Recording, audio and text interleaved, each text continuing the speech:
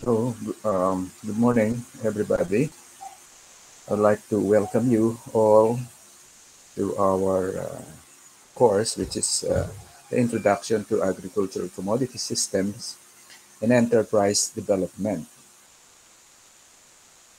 It is known as AGSI 4A, the lecture part, and I'm your instructor, Guillermo P. Desengaño, Chair of the Department of Agricultural Entrepreneurship. I will be giving you the overview of what we, what we are going to discuss for the rest of the semester pertaining to our subject.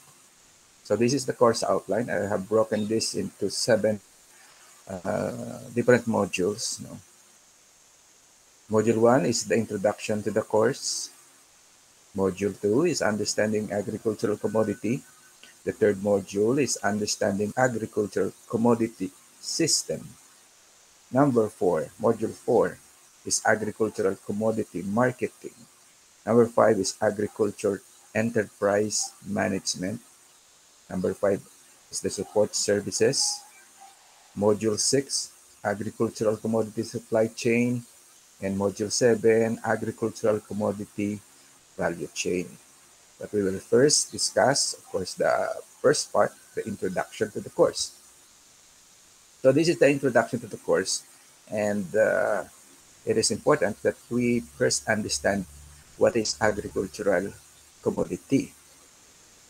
So by definition, a commodity is a basic good used in commerce that is interchangeable with other goods at the same type. Pwede siyang um, magkapalit kung sa point of view ng buyer. He doesn't much care kung anong brand ng white sugar ang binili niya. Uh, as long as it's sugar, okay lang sa kanya. So, no particular preference pagdating sa brand you know, because they are so basic. Commodities are most often used as inputs in the production of other goods or services.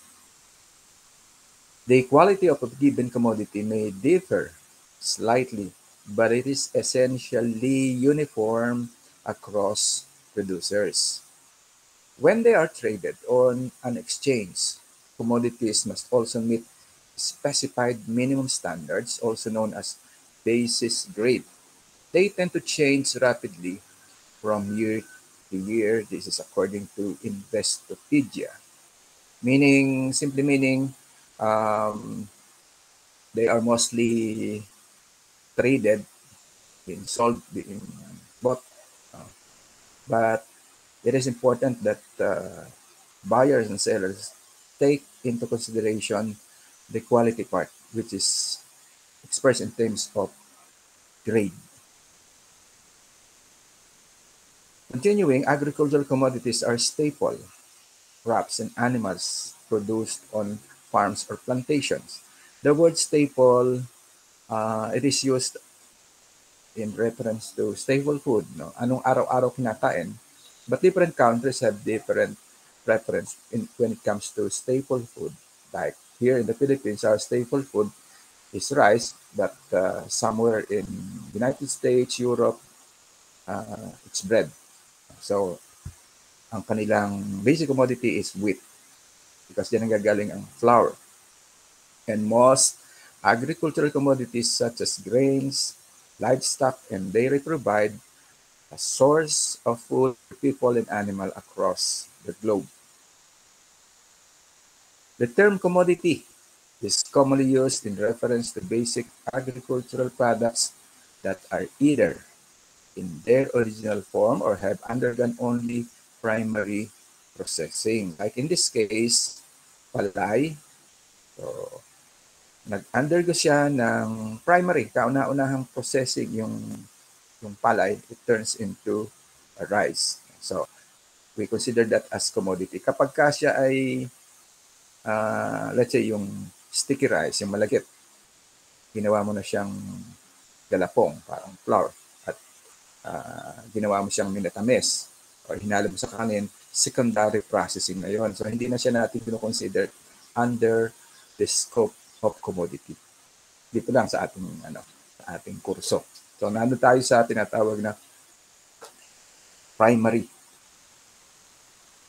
Thus, uh, within a particular grade and with respect to a given variety, commodities coming from different suppliers and even different countries or continents are ready substitutes for one another. For example, two varieties of coffee beans such as Robusta and Arabica do have different characteristics, but two Robustas from different continents will, within the same grade band, have identical characteristics in all important aspects. Agricultural commodities are generic, no brand, undifferentiated products. Wala masyadong pagkakaiba kasi primary processing pa lang nangyayari. Since they have no other distinguishing and marketable characteristics, compete with one another on the basis of price. Ang labanan na lang, presyo. Commodities contrast sharply with those products which have been given a trademark or branded in order to communicate their marketable difference. So you will find itong mga products na ito, wala pa silang brands. However, some agricultural commodities have purely industrial applications. The building and furniture industries use lumber. The one you see here is a lumber. Uh, pero kapag ka, hindi pa siya na cut into pieces, they are called timber. Nasa, normally, nasa forest pa yan. Kapag naitumba mo na sila, pinakot sa truck, they are first called timber while manufacturers in several sectors uses latex or use latex from the rubber tree. So another commodity is rubber. So merong rubber tree. Ito yung sample ng rubber. What you are seeing, ito ay latex, yung unti-unting nag-accumulate doon sa maliit na container na black. Dakta ang tawag dyan. And they are being processed and common use is tires wool. Okay?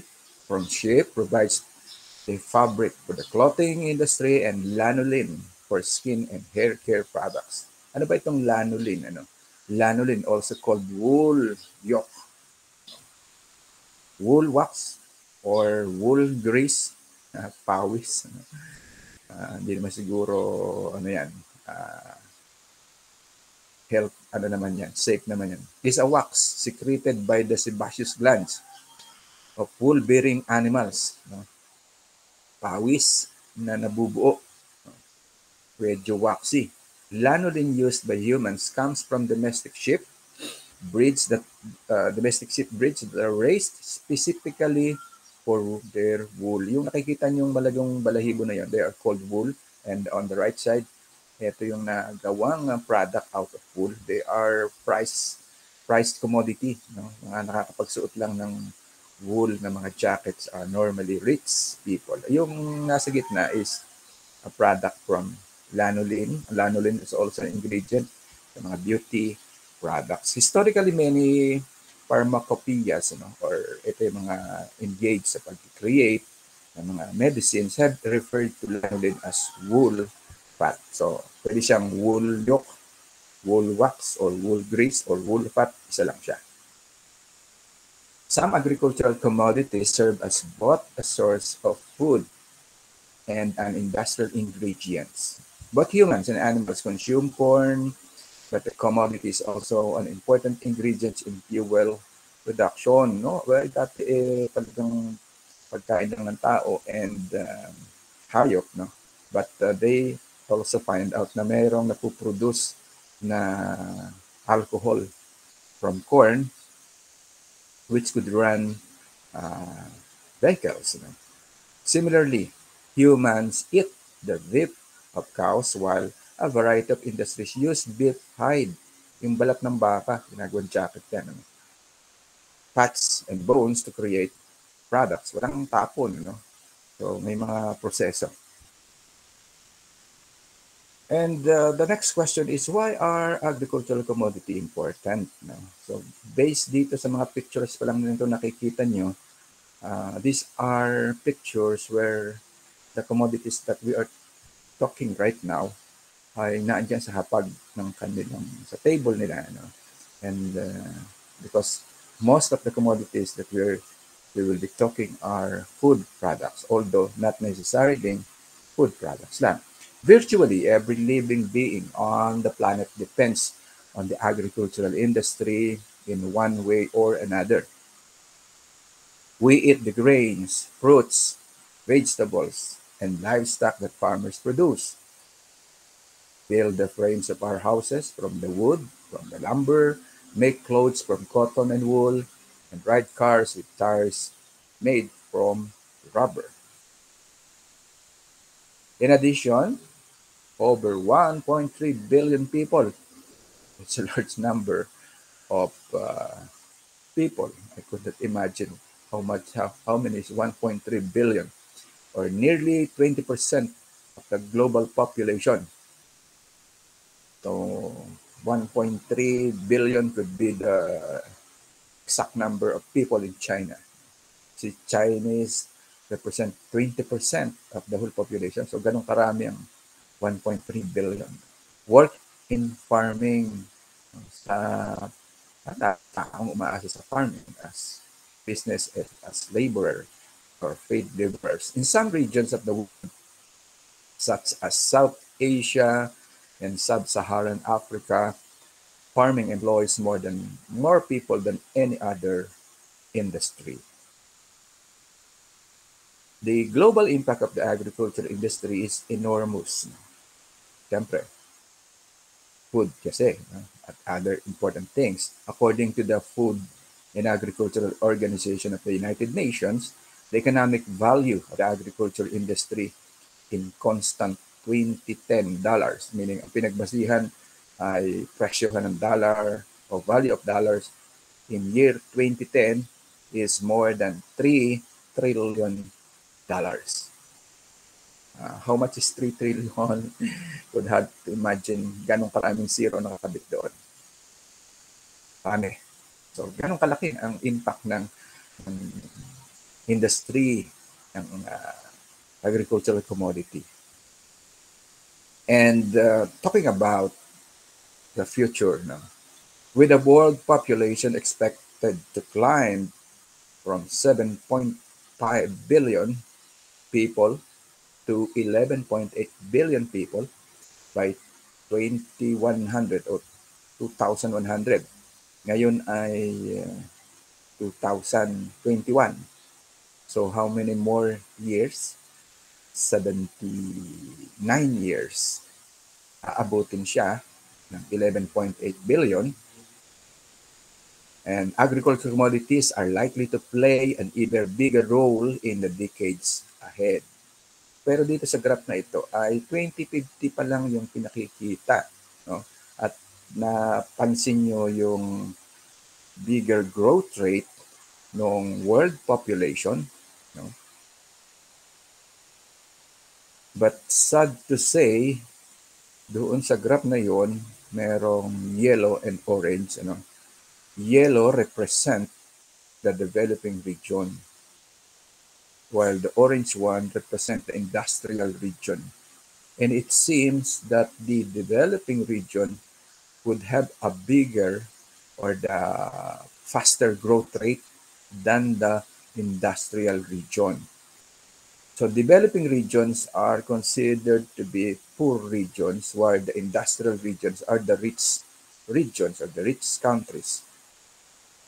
So yung poor regions pa, doon pa mas malakas ang population growth. And that is estimated to grow by that much uh, in 2050, which is close to 10 billion people. Okay? Kasi lampas ng 8, no? So, ganun kalaki. And that will be a great challenge for the rest of us who are living today and for the youth like you who are studying agriculture to look ahead because this is an impending, nalalapit na problema. How are we going to feed those number of people in the coming years? All right, so this will end our very our brief introduction of our course. Uh, there will be series of uh, lectures after this as we follow the course outline. So thank you very much for listening and hope you enjoy this lecture.